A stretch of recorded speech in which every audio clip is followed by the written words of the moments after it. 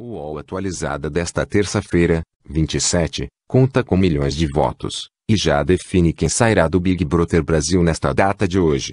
Embora a enquete não possua caráter científico ou influência sobre o resultado do programa da TV Globo, serve apenas de caráter informativo.